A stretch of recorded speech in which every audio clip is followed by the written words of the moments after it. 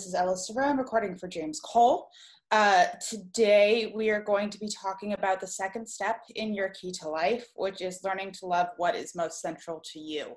Um, and I'd like to actually back this up a little bit and just ask you how did you kind of develop or realize or just kind of establish the so called like steps or the key?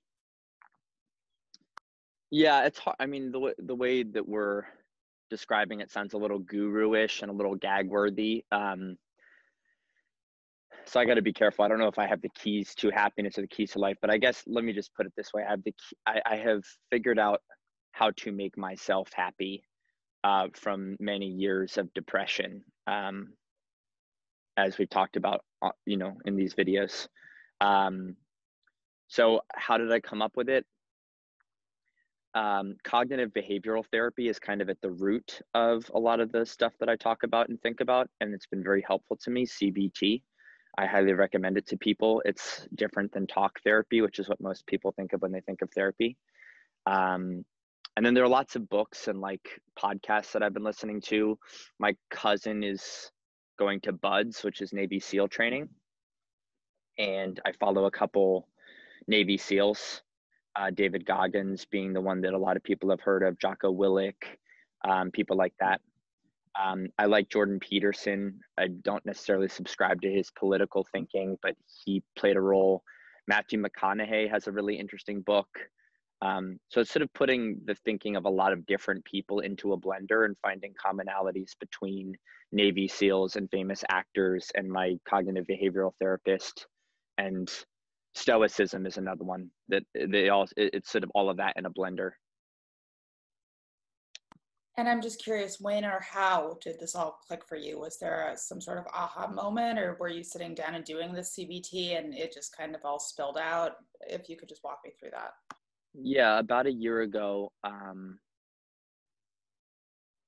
I guess more than a year ago now, maybe maybe like a year and three months ago, I moved from San Francisco to New York.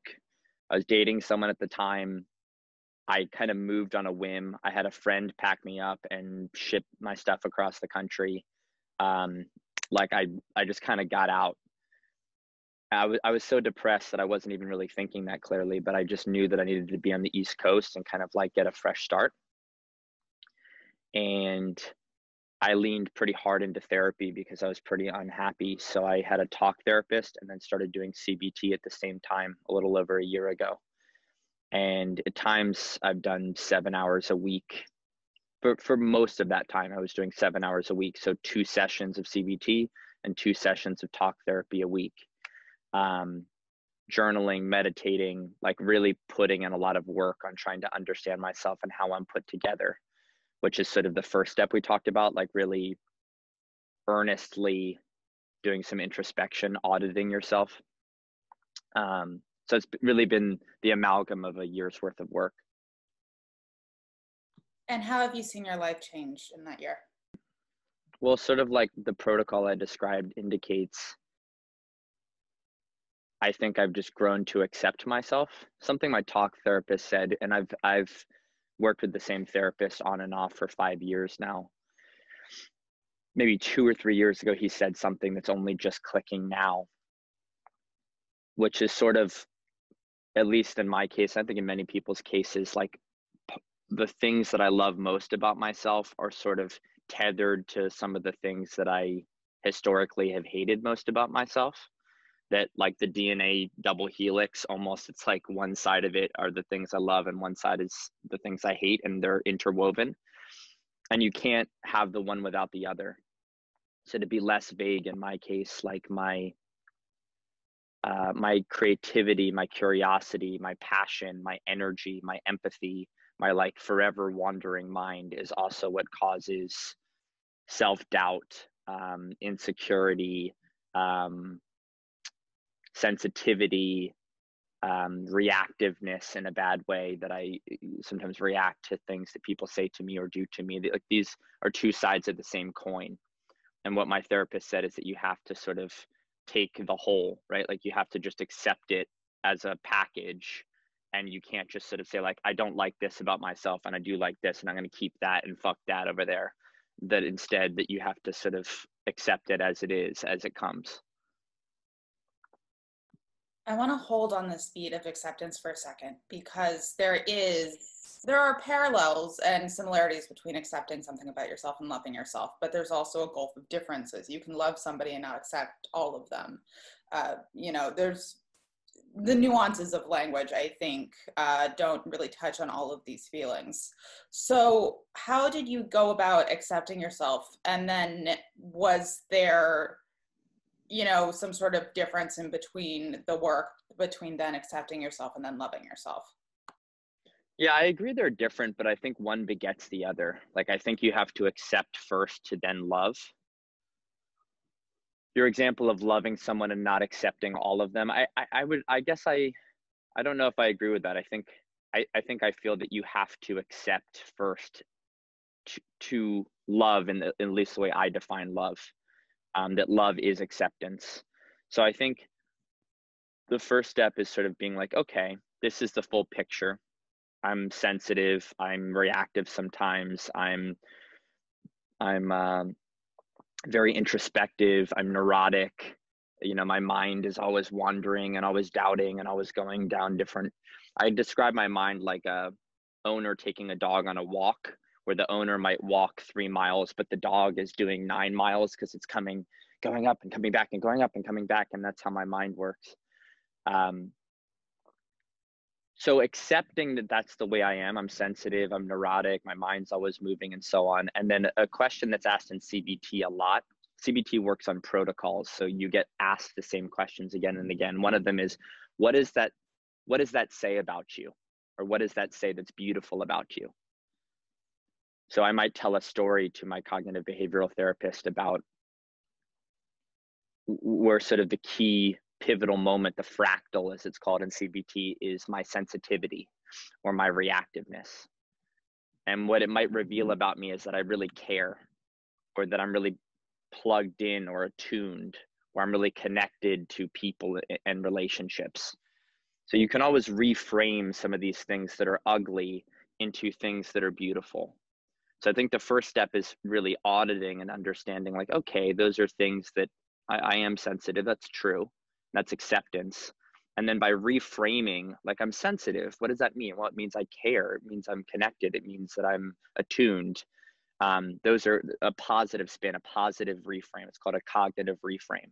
And that's how you transition acceptance to love. I'm curious, especially in your capacity as a business owner and an entrepreneur, um, a lot of people think people who own businesses are very just like business minded and not as quote unquote creative as other people when we know that there are overlaps or Venn diagrams, um, sometimes complete circles.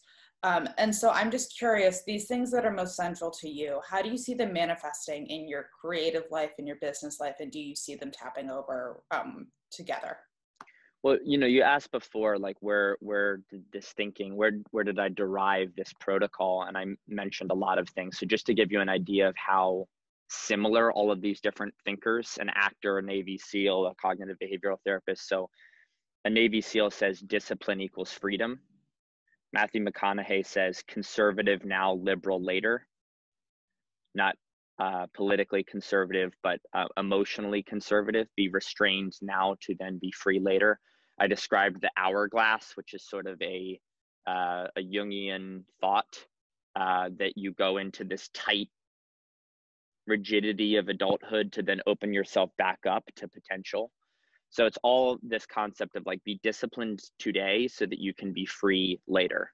Uh, be conservative now so you can be liberal later. Go into the bottleneck so that you can come out the other side. So the first time i really started thinking about this was like my cousin. I actually literally this morning by complete happenstance watched a few videos that he and i made together a decade ago. He's two years younger than i am but i look up to him a lot. One cousin i talk about is a navy seal and the other one's a, a cinema uh, you know award-winning cinematographer. And this kid you know who was covered in tattoos and was kind of the family artist let's say at age 19 when i was 21 he was so disciplined. He was so you know his art he took it so seriously that if you went on to set with him he was like militant almost. It was like he was in the army. And i have two dear friends who are professional chefs like top top top. They both won chopped twice and you know flown all over the world for for their cooking and when you go into a kitchen with them same thing militant like so precise. A kitchen is like an army barracks. Yes chef you know like you know you you use almost orders like behind i'm behind you. Um you know everything is so precise everything is everything is clean everything is thoughtful. Mise en place like everything is in its place is what is what uh, you say in the kitchen. So long way of saying like people amateur creatives amateur entrepreneurs think that to be creative means to be willy-nilly. But if you're actually good at being creative whether it's being a chef or a cinematographer or a writer i'm sure you can relate as a writer there's a, an immense discipline that has to be overlaid uh, to then you have to learn the rules to break them right? Conservative now liberal later i'm curious did you ever were you ever in that amateur space and what did that look like and how did you kind of move out to more discipline yeah, no, I was born a professional. Um, no, uh, of course. I mean, I'm, I'm, you know, I'm reading a book right now where one of the chapters is called Becoming. It's about technology and how everything's constantly evolving. We're all constantly evolving. So, yeah, I mean, watching those videos this morning and watching my storytelling capability and how my mind worked, um, I've evolved tremendously. I think the last year has been a big unlock for me, mostly just because I've become less depressed and I feel like this heavy vest. I'm doing a lot of exercise right now. I have a 40 pound weighted vest that I do things in. And if you do a workout for 30 minutes in a 40 pound weighted vest and then you take it off, it's like, woo, like you feel like you almost are going to float to the ceiling. Um, and that's how you feel when you get out of a depressive slump that I was in for probably five years. Um, so I'm thinking much more clearly. I'm executing more clearly in my business and my relationships. I just see the world much more clearly than I ever have through sort of toiling through years and years of, of depressive thought and corrosive um, self And I'm curious too, uh, to my mind, and this might be me oversimplifying it because I am on the outside and you're on the inside, but um, I think there might be a few parallels here um, with how the hub used to be very diffuse. And now, as you said, you focus on one specific uh, trade for photography. And so that kind of like accepting what you needed to do to keep the business thriving.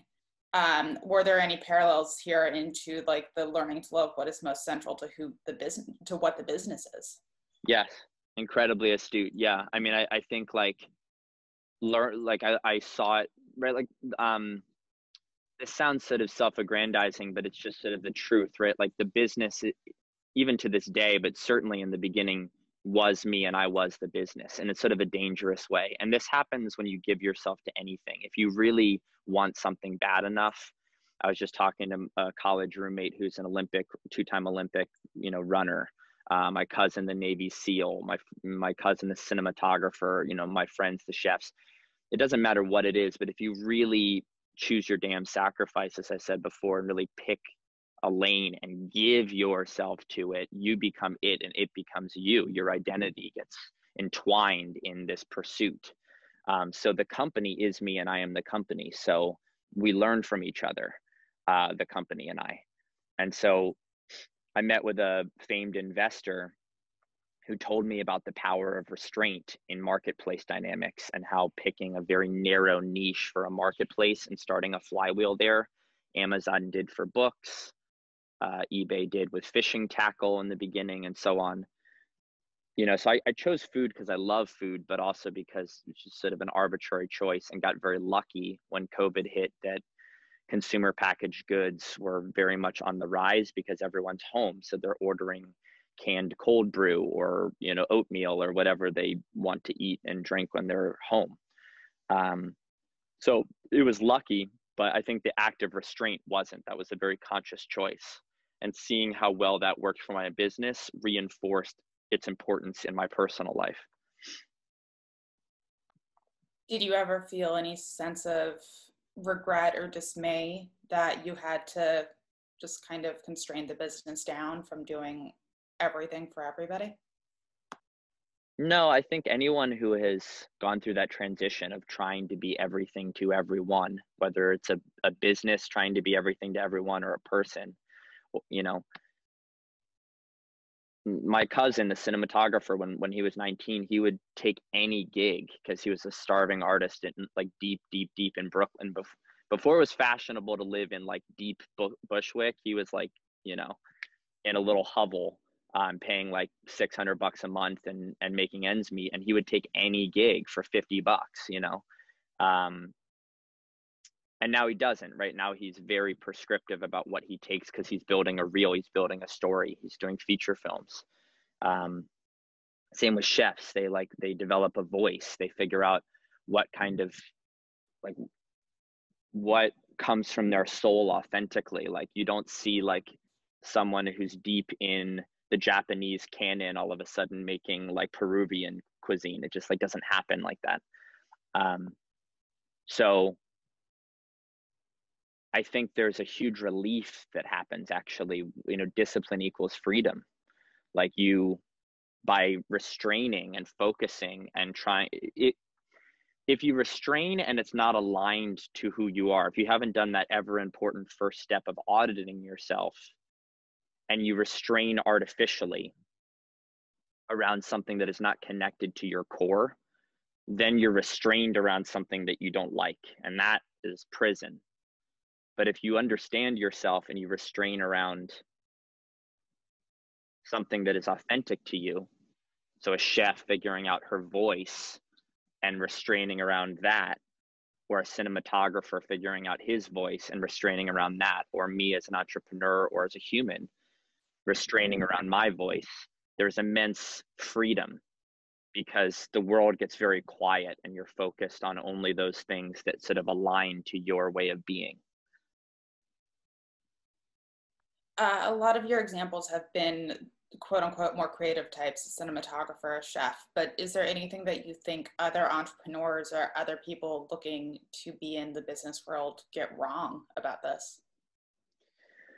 Yeah, I mean, we're flipping between personal and professional because for me, those two things are very intertwined. But, um, you know, like let's just take it on a personal note, right? Like, um, again, just going back to me as an example, like being very sensitive, being very empathic. Like, are are these good things? Are these bad things? Are, you know, I like the movie X Men as a as a uh, allegory. If people have seen that, because X Men is a superhero movie but they're described as they're described as mutants and they're sort of kicked out of their home their community because their character trait their superpower is causing harm and they end up in a school for sort of wayward mutants to figure out how to hone this thing and figure it out so that they can turn around and hopefully save the world and I, I think that's how most people should view themselves right like they're in progress and who they are, what makes them most powerful, isn't quite honed yet.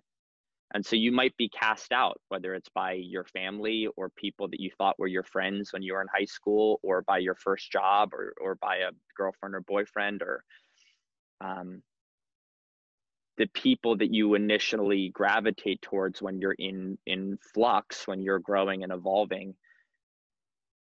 You might outgrow, or they might outgrow you because there isn't alignment um, but in your personal life or professional life, when you start finding yourself in rooms or with people professionally or personally with whom you are aligned, um, you don't you don't tend to outgrow those relationships. They tend to fill you with energy instead of sucking energy from you. uh, do you ever have conversations with other entrepreneurs in which you can just tell that they're not doing that work to really hone in and you know siphon themselves all the time i mean entrepreneurship isn't so different than anything else right like you can tell when someone isn't connected to their craft or isn't connected to their lifestyle and they're doing it because you know m- most entrepreneurs like entrepreneurialism has become very sexy in the past five or 10 years. Like starting something, I, I think social media has enabled this. Like, hey, everyone, check out my site. Like, it's, I started this thing and it's cool and I, it has a logo and it has a name and I'm like I'm so brave for starting something. And I see a lot of people do that and then sort of like you know after the first two three four five six months run out you know Mike Tyson says everyone has a plan until you get punched in the face right? You get punched in the face once or twice and like you know a lot of people are like oh this isn't so fun anymore. Um, I think if it's aligned to your soul, then you can push through that pain. But if it's not and you get punched, you're like, I don't really love this that much and it's not very fun or comfortable. So why am I doing it exactly? And some people will hold on in that state for six months or a year or two, and it's very ugly. I mean, it's very, uh, you know, and most entrepreneurs I talk to that are in the first two years are like that. 90% of startups fail, right? And a lot of people will blame it on, you know, lack of capital or market dynamics or any number of things. But what I always say is like this the company fails when the founder quits. You know, there are lots of stories of pivots. Pivot, pivots are sort of held on high in in Silicon Valley. Like Slack is are you familiar with Slack? So Slack is, you know, for those people who don't know, it's like AOL Instant Messenger for businesses. You can like chat with your team very easily and quickly, and it, it's a wonderful tool. And for the you know people probably don't know this, but Slack was started by the guy who started Flickr, which was a very big photo community in the early 2000s. And so he raised a lot of cash out of the gate, like almost $20 million. And when he had $5 million left, uh, and sorry, the, the Slack was a business to consumer gaming company. Did you know this? Business to consumer gaming company. So they were making like really hip, you know, a, a, a cool, fun game, right? Uh, like uh, for people to play. Um, and it wasn't working. And he told his team in tears that they were going to have to shut down the business. And he went back to his investors that he cared most about and said, I'm going to give you your money back. This, you know, we have 5 million left. I'd rather you just have the cash than burn it. We're not going to make it and uh, Marc Andreessen, who's like a very famous investor of Andreessen Horowitz, basically said to him, "Well, you know, hold not not so fast. Let's talk through this. Like, I still believe in you as a founder. Like, you know, there must be some things that are working. Let's really do the audit. Right? Let's really like think about this. What's going well? What's going poorly? And they talked through it for an hour or two. And what they came up with was that this chat tool that they were using just internally they had like a team of 40 and their engineers were using it and product managers and they were all chatting internally to build more efficiently. And everyone was using it they were using it on the weekends and they like everyone loved it right? Um, and so they decided that they were going to make that the product and pivot from being a business business to consumer game company to a business to business chat company like a totally different thing completely different company. And so the new Slack was born and evolved and raised more money and now is worth, you know, over $5 billion. Um, and so most people, when they hit a wall, just stop and that's quitting. And other people hit a wall and find another way and that's a pivot. And the only difference between a pivot and quitting is whether you stop. You just spent a few minutes on this Slack story. I'm curious, what do you really like about it? What I just said that you know pivots are celebrated failure is celebrated too in many ways. But to me a pivot is just sort of a funny idea because it's it's literally a failure followed by an adaptation. Like this failed. Let me try something else. And so if you slow it down it's a failure followed by a rebirth and a true entrepreneur, a true artist, you know, like what do they teach you in second grade when you take an art class? It's like there are no mistakes, right? Like, oh, you squib squiggled a line, like turn it into a the tail of a dragon. You know, like it it can be anything. Turn it into something new. Find beauty out of imperfection. That's what art is. Um, So I think if you have a deep desire and a deep alignment in what you're working on, you can make that squiggly line into something. You can find a way to adapt. And a company is over when the founder puts down his or her sword, right? Um, and I live by that code. So people confuse something. Failure, there's a badge of pride around failure in Silicon Valley.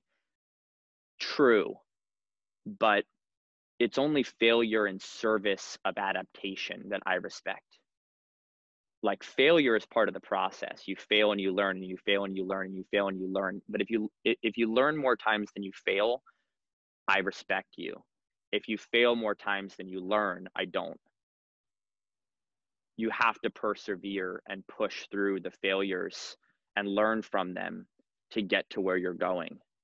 Um, and if you give up and just end on a failure note instead of a learning note, then it's an act of cowardice as far as I, you know, it's, it's, it's akin to putting your, your weapon down in battle, you know? And then I guess my last question for you is uh, a little heady, but why do you think so many people just don't really get to that stage of loving what is most central to who they are? I think the first thing is they don't actually do the work to look at the picture, you know, to to take a drone photograph of their soul and be like, this is this is all of it. You know, it's scary. It's like some, sometimes it's hard to unearth because you're emotionally repressed or you're not practiced at it, you know, so it's hard to even verbalize who you are, what you care about, or, you know, I just was born with a brain that that did that did this as I said, sometimes to to my great benefit, and oftentimes I would be so in my head that I would just be my own worst enemy and destroy myself. That was most of the first 25 years of my life, maybe the first 28 years of my life. So I think most people just don't even get to the point where they have a full picture to even decide if they love the full picture. And then for the rare few that do get the full picture, they're like, I don't like those things. I kind of just like these things. And they repress or are shameful of aspects of themselves. And you need to sort of, there are things you can strengthen and work on, of course. It's not like you have to just relegate yourself to being okay with everything just as it is. The idea is that you improve, but the things that you cannot change about yourself, you have to see all of it and love all of it and I, I think people just don't even bother to see the whole picture and then once they do they want to eliminate 10 or 20% of it and never look at it again and put it in a shoebox. But you have to really pick at it and be like how could this be beautiful? In what rooms would this be beautiful? Who would appreciate this? And put yourself in those rooms more so you can train yourself to see say my sensitivity as a beautiful thing not a not a it's not a defect. It's not a mutant gene. It's a superhero trait